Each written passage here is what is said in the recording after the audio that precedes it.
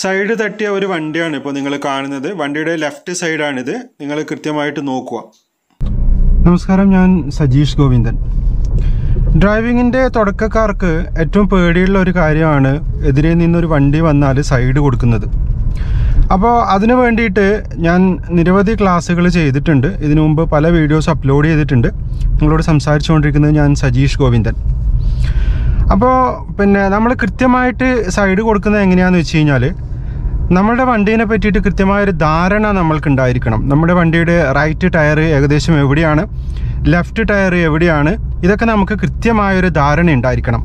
അത് കൂടാതെ നമുക്കറിയേണ്ട മറ്റൊരു കാര്യമാണ് നമ്മുടെ വണ്ടിയുടെ പിന്നെ ലെഫ്റ്റ് മിറർ എവിടെയാണ്? എത്ര ഭാഗം പുറത്തേക്ക് പ്രൊജക്റ്റ് ചെയ്തിട്ടുണ്ട്? അതേപോലെ തന്നെ വണ്ടിയുടെ റൈറ്റ് മിറർ എത്ര ഭാഗം പുറത്തേക്ക് പ്രൊജക്റ്റ് ചെയ്തിട്ടുണ്ട്? ഇതൊക്കെ നമുക്ക് വ്യക്തമായ ഒരു ധാരണ ഉണ്ടായിരിക്കണം. അങ്ങനെ ഒരു ധാരണ ഉണ്ടെങ്കിൽ മാത്രമേ നമുക്ക് കൃത്യമായിട്ട് സൈഡ് കൊടുത്തിട്ട് പോകാൻ വേണ്ടിയിട്ട് കഴിയുകയുള്ളൂ. ഇതിന് ആദ്യം നമ്മൾ മനസ്സിലാക്കേണ്ടത് നമ്മുടെ വണ്ടിയുടെ ടയർ എവിടെയാണ് എവിടെയാണെന്നുള്ളതിന്റെ ഏകദേശം ഒരു ധാരണയാണ്. അപ്പോൾ റൈറ്റ് ടയർ ഇതാ ഈ ഒരു ഭാഗത്താണെന്ന് നിങ്ങൾ വിചാരിക്കുക. അതേപോലെ തന്നെ ലെഫ്റ്റ് ടയർ ഡാഷ്ബോർഡിന്റെ സെന്ററാണെന്ന് നിങ്ങൾ വിചാരിക്കാം അങ്ങനെ വിചാരിച്ചു കഴിഞ്ഞാൽ നിങ്ങൾക്ക് വളരെ എളുപ്പത്തിൽ വണ്ടി കൺട്രോൾ ചെയ്ത് കൊണ്ടുപോകാൻ വേണ്ടിയിട്ട് കഴിയും.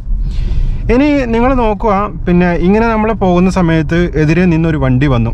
എതിരെ നിന്ന് വണ്ടി വന്നാൽ സ്വാഭാവികമായിട്ട് എന്ത് ചെയ്യണം? സൈഡ് കൊടുക്കണം. അപ്പോൾ നിങ്ങൾ സൈഡ് കൊടുക്കുന്നു. നിങ്ങൾ മാക്സിമം സൈഡ് കൊടുക്കുന്നു എന്ന് വിചാരിക്കുക. നിങ്ങൾ മറ്റേ വണ്ടി ശ്രദ്ധിക്കുന്നു എന്നിട്ട് മാക്സിമം സൈഡ് കൊടുക്കുന്നു. അങ്ങനെ സൈഡ് കൊടുക്കുന്ന സമയത്ത് നിങ്ങളുടെ വണ്ടിക്ക് കൃത്യമായിട്ട് പിന്നെ പോകാൻ കഴിയുന്നില്ലെങ്കിൽ നിങ്ങൾ എന്താണ് ചെയ്യുക? നിങ്ങൾ അവിടെ വണ്ടി നിർത്തും. അല്ലേ? സൈഡ് കൊടുത്ത് നിങ്ങൾക്ക് പോകാൻ പറ്റുന്നില്ലെങ്കിൽ നിങ്ങൾ സ്വാഭാവികമായിട്ട് വണ്ടി അവിടെ നിർത്തും. പക്ഷേ ചില സമയങ്ങളിൽ എന്താ പറ്റുന്നതെന്ന് വെച്ച് കഴിഞ്ഞാൽ ഇങ്ങനെയുള്ള സാഹചര്യങ്ങളിൽ പിന്നെ എതിരെ ഏതെങ്കിലും വണ്ടി വന്നു കഴിഞ്ഞാൽ നമ്മളുടെ ശ്രദ്ധ മൊത്തം ആ വണ്ടിയിലായിരിക്കും. എതിരെ നിന്ന് ഇങ്ങനെ ഒരു വണ്ടി വരുന്നുണ്ടല്ലോ എന്ന് ശ്രദ്ധിക്കും. എന്നിട്ട് മാക്സിമം നമ്മൾ സൈഡ് എടുക്കും. സൈഡ് എടുക്കുന്ന സമയത്ത് നമ്മുടെ വണ്ടിയുടെ കാര്യം നമുക്ക് പലപ്പോഴും ഓർമ്മയുണ്ടാകില്ല. അങ്ങനെ സംഭവിച്ച ഒരുപാട് ആളുകളുണ്ട്. അപ്പോൾ ഇത് എന്തുകൊണ്ടാണ് സംഭവിക്കുന്നത്? പലപ്പോഴും സംഭവിക്കുന്നത് എതിരെ വണ്ടി കാണുമ്പോഴുള്ള ടെൻഷന്റെ പുറത്താണ്. അപ്പോൾ ഇങ്ങനെ ടെൻഷൻ വന്നു കഴിയുമ്പോൾ നമ്മൾ പെട്ടെന്ന് എന്താ ചെയ്യുകയെന്ന് വെച്ച് കഴിഞ്ഞാൽ വേഗം സൈഡ് കൊടുക്കാൻ വേണ്ടിയിട്ട് നോക്കും. എങ്ങനെയെങ്കിലും ഒന്ന് സൈഡ് കൊടുത്തിട്ട് ആ വണ്ടീനെ കടത്തി വിടാൻ വേണ്ടിയിട്ട് നോക്കും. അപ്പോൾ സ്വന്തം വണ്ടിയുടെ കാര്യം പലപ്പോഴും ഓർമ്മയിൽ ഉണ്ടാവില്ല. അങ്ങനെ ആയിക്കഴിഞ്ഞാൽ എന്താണ് ബുദ്ധിമുട്ട്? നിങ്ങൾ നോക്കുക. അത് ഞാൻ നിങ്ങൾക്ക് കുറച്ചും കൂടെ വ്യക്തമായിട്ട് പറഞ്ഞുതരാം. ഇപ്പം ഞാൻ ഇവിടുന്ന് വണ്ടി തിരിക്കുകയാണ് തിരിച്ചിട്ട് പിന്നെ മുന്നോട്ടേക്ക് പോകുന്നു. നിങ്ങൾ നോക്കുക. ഞാനിപ്പോൾ ഇതാ വണ്ടി തിരിച്ച് മുന്നോട്ടേക്ക് എടുക്കുന്നു. മുന്നോട്ടേക്ക് എടുത്തിട്ട് ഇതേ വഴിയിലൂടെ തിരിച്ചു പോയിട്ട് അവിടുന്ന് റൈറ്റ് എടുക്കാനാണ് പോകുന്നത് അവിടെ ചെറിയൊരു ഇടുങ്ങിയ വഴിയുണ്ട്. ആ വഴിയിലൂടെ ഞാൻ ഡ്രൈവ് ചെയ്യുന്ന സമയത്ത് ഞാൻ നിങ്ങൾക്ക് പറഞ്ഞുതരാം.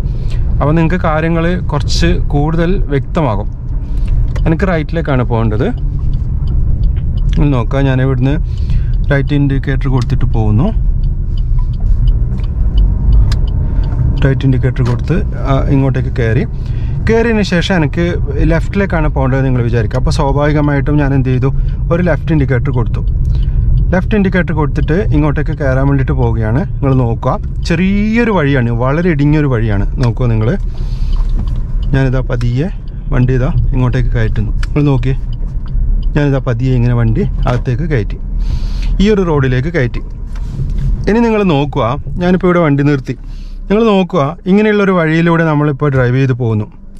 എതിരെ നിന്നൊരു വണ്ടി വരുന്നുണ്ട് എന്ന് വിചാരിക്കാം. അങ്ങനെ കാണുമ്പോൾ നമ്മൾ പെട്ടെന്ന് എന്താ ചെയ്യുക നമ്മൾ പെട്ടെന്ന് ചെയ്യുന്ന കാര്യം എന്ന് വെച്ച് കഴിഞ്ഞാൽ മാക്സിമം സൈഡ് കൊടുക്കാൻ വേണ്ടിയിട്ട് നോക്കും.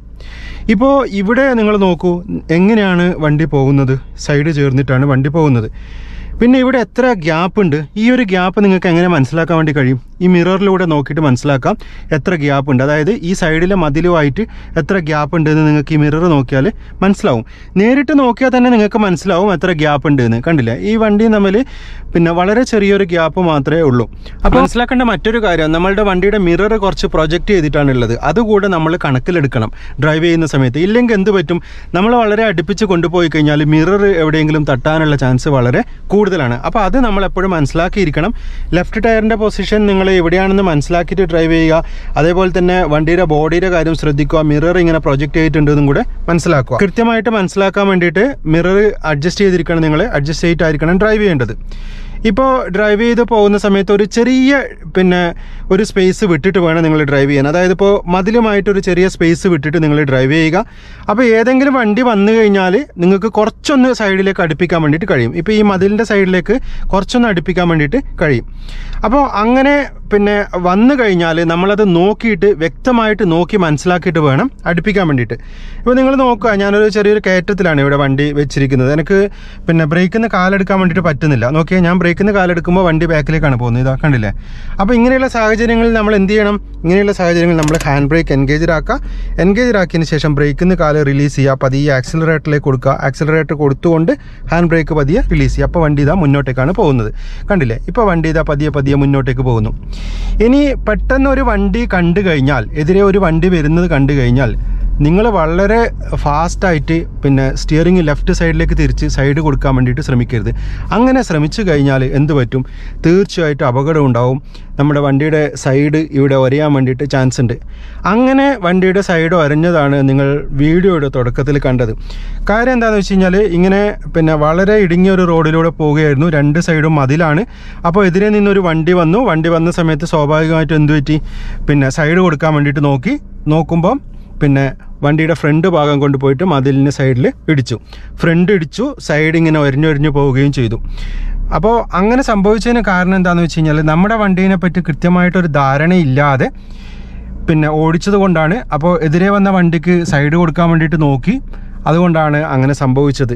ഇനി ഇത്തരം സാഹചര്യങ്ങളിൽ പിന്നെ നിങ്ങൾ നോക്കുക പിന്നെ നമുക്ക് സൈഡ് കൊടുക്കാൻ പറ്റുന്നില്ല അല്ലെങ്കിൽ നമുക്ക് ഉറപ്പില്ല വണ്ടി വണ്ടി കൊണ്ട് മുന്നിലേക്ക് പോകാൻ പറ്റുന്ന ഉറപ്പില്ല എന്ന് വിചാരിക്കുക. അപ്പോൾ നിങ്ങൾ എന്ത് ചെയ്യണം? വണ്ടി അവിടെ നിർത്തുകയാണ് വേണ്ടത്. അങ്ങനെ നിർത്തിക്കഴിഞ്ഞാൽ എതിരെ നിന്നുള്ള വണ്ടി അഡ്ജസ്റ്റ് ചെയ്ത് പോയിക്കോളും. അല്ലെങ്കിൽ നമുക്ക് പതിയെ പതിയെ അനക്കി അനക്കി വണ്ടി കുറച്ച് കുറച്ച് കൊണ്ടുപോയി പിന്നെ ഈ ഒരു പ്രശ്നം പരിഹരിക്കാവുന്നതാണ്. നിങ്ങൾ നോക്കുക ഞാൻ ഇവിടുന്ന് വണ്ടി റിവേഴ്സ് എടുക്കുകയാണ്. നമ്മൾ ഞാൻ ജസ്റ്റ് കാണിച്ചു തരാൻ വേണ്ടിയിട്ട് ഈ ഒരു ഇടവഴിയിലൂടെ കയറിയതാണ് നമുക്ക് പരിചയമില്ലാത്തൊരു വീടാണിത്. അറിയില്ല ആരാണ്.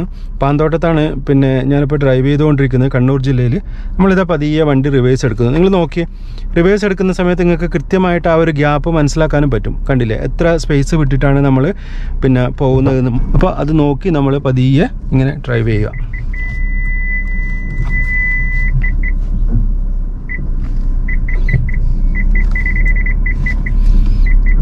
നമ്മൾ പതിയെ പതിയാണ് ഡ്രൈവ് ചെയ്യുന്നത്. ഇപ്പോൾ നിങ്ങൾ ചെറിയ ചെറിയ സൗണ്ട് കേൾക്കുന്നത് എന്താണെന്ന് വെച്ച് കഴിഞ്ഞാൽ സെൻസറിന്റെ സൗണ്ടാണ് റോഡ് സൈഡിലൊക്കെ പുല്ലൊക്കെ ഉണ്ട്. അപ്പോൾ അതുകൊണ്ടാണ് പിന്നെ ആ ഒരു സെൻസറിന്റെ സൗണ്ട് കേൾക്കുന്നത്. ഇതാ പതിയെ പതിയെ റിവേഴ്സ് എടുക്കുന്നു. പതിയെ റിവേഴ്സ് എടുത്തു. കണ്ടില്ലേ? ഞാനിപ്പോൾ റോഡിലേക്ക് തന്നെ വന്ന റോഡിലേക്ക് തന്നെ തിരിച്ചു വന്നു. കണ്ടില്ലേ? പതിയെ പതിയെ റിവേഴ്സ് എടുത്ത് വന്നതാണ്. അപ്പോൾ ഇത് നിങ്ങൾക്ക് മനസ്സിലാക്കി തരാൻ വേണ്ടിയിട്ടാണ് ആ ഒരു ചെറിയ ഇടവഴിയിലേക്ക് ഞാൻ കയറിയത്. അപ്പോൾ ഡ്രൈവിങ്ങിന്റെ തുടക്കക്കാർക്ക് എപ്പോഴും ഉണ്ടാകുന്നൊരു പ്രശ്നമാണ്. അപ്പോൾ ഇത് പിന്നെ കുറച്ച് ആൾക്കെങ്കിലും ഈ ഒരു വീഡിയോ കൊണ്ട് ഉപകാരപ്പെടുമെന്ന് വിചാരിക്കുന്നത് കാരണം എന്താണെന്ന് വെച്ച് കഴിഞ്ഞാൽ പിന്നെ സൈഡ് കൊടുക്കുന്ന സമയത്ത് പെട്ടെന്ന് ഓർമ്മയില്ലാതെ വളരെ പെട്ടെന്ന് സൈഡ് കൊടുക്കുന്ന ആളുകളുണ്ട്. അപ്പോൾ ഒരിക്കലും നിങ്ങൾ അങ്ങനെ ചെയ്യരുത്. അങ്ങനെ ചെയ്ത് കഴിഞ്ഞാൽ വണ്ടിയുടെ സൈഡ് വരച്ചും. ഇത് പിന്നെ പുതിയ വണ്ടി എടുത്തവർക്കൊക്കെയാണ് പലപ്പോഴും ഇങ്ങനെ സംഭവിക്കുന്നത്. ഒരു പ്രാവശ്യം വണ്ടി വരഞ്ഞു കഴിഞ്ഞാൽ പിന്നെ നമുക്ക് ഭയങ്കര ടെൻഷനായിരിക്കും അതേപോലെ തന്നെ പിന്നീട് ഡ്രൈവ് ചെയ്യുമ്പോൾ വളരെ ബുദ്ധിമുട്ടൊക്കെ നിങ്ങൾക്ക് തോന്നും. അപ്പോൾ അങ്ങനെ ആവാതിരിക്കാൻ നിങ്ങൾ മാക്സിമം ശ്രമിക്കുക. പിന്നെ നമ്മൾ സൈഡ് കൊടുക്കുന്ന സമയത്ത് നമ്മുടെ കാര്യം ഉറപ്പാക്കിയിട്ട് മാത്രം നിങ്ങൾ സൈഡ് കൊടുക്കുക. വളരെ സിമ്പിളായിട്ട് പറഞ്ഞാൽ അതാണ്. ഇനി നിങ്ങൾക്ക് ഉറപ്പില്ല സൈഡ് കൊടുക്കാൻ പറ്റില്ല അല്ലെങ്കിൽ സൈഡ് ഒരഞ്ഞു പോകുമെന്ന് തോന്നുന്നുണ്ടെങ്കിൽ വണ്ടി അവിടെ നിർത്തുകയാണ് വേണ്ടത്. അപ്പോൾ ഇതെല്ലാവരും മനസ്സിലാക്കുക. ഇനി ഇത്തരം മിസ്റ്റേക്കുകൾ പിന്നെ നിങ്ങൾക്ക് ആർക്കും വരാതിരിക്കട്ടെ. അപ്പോൾ അതിന് വേണ്ടിയിട്ടാണ് ഇന്നത്തെ വ്ളോഗ്. എന്തായാലും വീണ്ടും മറ്റൊരു വ്ളോഗിൽ കണ്ടുമുട്ടാവുന്ന ശുഭപ്രതീക്ഷയോടെ ഞാൻ സജീഷ് ഗോവിന്ദൻ. താങ്ക്